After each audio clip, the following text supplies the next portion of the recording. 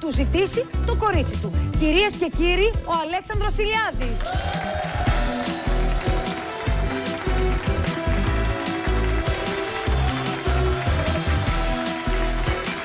Γεια σας. Πώς είστε; Γεια σου Αλέξανδρε, τι κάνεις; Ό,τι μπορώ, μεγαλώνω.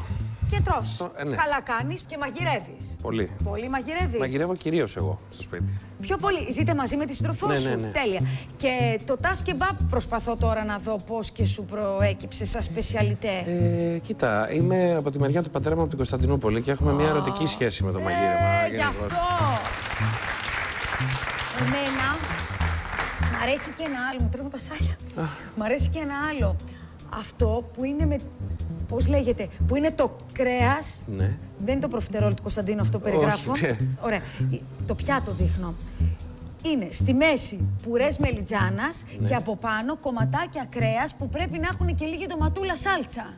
Δεν τα ξέρω όλα και εγώ Μωρέ είμαι μπουχέ, ακόμα... μπουχάρ, κα... Ε, δεν, δεν, αυτό πάντως δεν τα εμένα πηγαίνω. μ' αρέσει. Δεν μπορώ με τη μελιτζάνα, κατάλαβες, οπότε δεν, Δεν έχω σ' αρέσει; ασχοληθεί. Α, κρίμα. Εντάξει, πάντως άμα βρεθούμε, καρμπονάρα θα μου φτιάξεις. Ε, σίγουρα. Ωραία. Απλά θα κονταροχτυπηθείτε με την Αγγελική για το ποια θα φάει περισσότερο, να ξέρεις.